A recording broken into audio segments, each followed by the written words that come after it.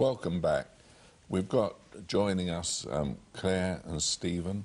Uh, Lineker now, of course, Yep. changed name from Sheldon. But Claire, you when you came to the church, you just, I think you'd just about done your GCSEs, hadn't you? I had done my GCSEs the year before, and I was um, just finishing the GNVQ that my mum was talking about. And it was coming to an end, I think I had actually finished it, and it was that summer that um, I was starting to come to the church more, and we had the infamous barbecue day. Yeah. Um, And, uh, But I you, you mentioned the D's, and the, yes. um, it was D's the lowest. D Yes. was the lowest, Two Yeah. C's and D's. but there were a lot of D's as well. Yeah. Um, yes. but I was coming to the end of the GNVQ, and But they'd misled you into thinking they were all right, really. Oh, yeah. Mm. Acceptable. The state school says they're acceptable. Well, they to them it was a pass. I mean, a fail was a, an F, and that was it. Mm. Everything else was fine. Mhm. Um, and I think for us, we thought that was fine. Yeah. That says I And had done so well. It was a shock when I said they're failures. Yes, it was a big shock. It re- did reduce me to tears I remember. because remember. no one had said that to me before. Yeah. Well, we were yeah. trying to be kind. I know, But A, B's, and C's are, are, are but I wanted Mm. A's, B's, Yeah. and C's. I Yeah. just couldn't quite get there. No. and so that was basically the bad teaching, yeah. I think, Mm-hmm. don't you? Well, I think bad teaching, and because I wasn't the brightest spark in the class, Mhm. just totally overlooked. I mean, I'm not trying to blame it all on the school. Yeah. I mean, Mm. there was a real problem I had with drive and wanting to, you know, and have the ability to get those A's and B's. But yeah, like you say, it wasn't really a fair chance. But then when you came to um, Peniel, y- things changed. You Yeah. worked. things did change because I was in a class of probably in, in smaller classes of like Mm. five or I think six was the largest class Mm. I was in. Mhm. And the teachers who were teaching you loved teaching you, and that Mm. makes a big difference anyway. Mhm. And the people I was working with, my peers, wanted to work. It just Mm. wasn't, you know, you didn't try and skive off and do as little as you can. It was always let's do as much as we can to get the best results and really. And yeah, there was an element of you wanted to impress the teachers. You wanted to show them that, okay, you've put this in and we've put this back in as well. Mm.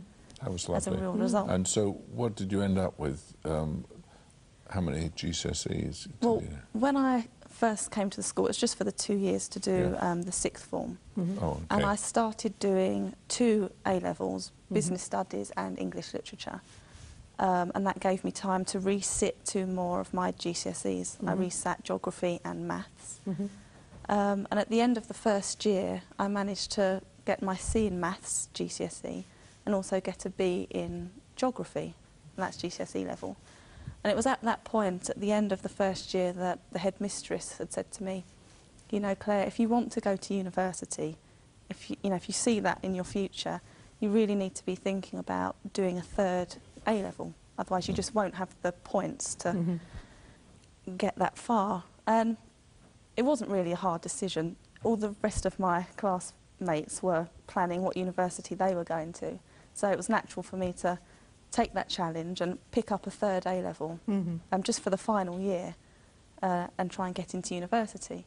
And at the end of the sixth form, I got um, a B for my business studies, Mhm. C for my English, and in geography that I did in one year, I got a grade B. Oh, And Well, that was a miracle. Yeah. It really was. Two B's and a C. And so, then which university did you go to? Um, well, it was a kind of a last minute thing. I ended up going to City University in London Mhm. to study computing. Mhm. And I think that was a, a real miracle in itself as well because the course was full Mm. and I had to go up for an interview, although the course was full. And the day before my interview, um, one of the girls that was on the course had phoned in to say she'd accidentally fallen pregnant and she couldn't go to university, so it made a space for me. Wow. Oh, I was well, on the there we are. And then you got a 2 1, didn't you? Yeah. At the end of the third year, I got a 2-1. I mean, Fantastic. I found university was quite hard for me. I was studying a subject that I didn't really know, but at the end of it, I came out with a 2-1, and that was got a good thing. job and a good career. yeah, I've been at work now for two years and it's Mm. going really, really well. Mm. Yeah, and it was all from failure, really. A Uh, real Everything turnaround. changed round for you. I have to say, at the end of my GNVQ, my life was going nowhere. I Mm. couldn't see what the next step was. No. I mean, I didn't know what I was going to do at all. And Mm. So, and when you stepped in at that summer, it just it just turned everything around. Yeah. So thank you. I remember uh, Claire had a week to decide, and we didn't put any pressure on her. We just said, "This is your decision because you know you've got to change and work." And she said she thought about it. At the end of it, she said, "I think God's given me a second chance. Mhm. I'm going to do it," Mm. and it's worked out brilliantly. Wonderful. And then Stephen, you were um, on the on the scene. you were on the scene. Just yeah. when it couldn't get any better. Uh, at, at which point were you on the scene? Well, you were at university, weren't you? I was, yeah. And Yeah. You you went to where? Um, I went to King's College. Uh, doing what? I study business management. Okay, and you came out with what? A two one. A two-one. Yeah. And then you saw Claire across a crowded room or something. Something like that, yeah. It was actually quite similar to that. Yeah. yeah. And the um, you did the Iron Man or something like that, didn't you? Yeah, something crazy like that. Yes. That was while you were at King's. It you, was during my, during my first year. You took on this Iron Man Challenge. challenge, and what did you actually do? Um, it's it's basically a, a similar format to a triathlon. So you've got your your swimming, um, cycling, and your running, but it's just a, a much longer event. So you, you start off with your swim, which is 2.4 miles. Yeah. You then got the cycle, which is 112, and then you finish with your marathon. Which is how many? 26 Well, miles. Yeah, just over 26. Wow. And you did it all in one day. Yeah, they, they actually called it the longest day. Yes. So I can imagine. yes. Uh, yes. yeah, it's, it's, it's an early start actually. You start about six in the morning. And you made it. Yeah, Yeah. just about. I, c- Yeah. I th- seem to remember you just about started going out together, had you then? Yeah, Yeah. just a That's couple of months beforehand. Yeah. and you wasn't wondered if for he'd come back, did you? I was very, very proud. It was excellent to see. Yeah. and so you finished, what time did you finish in?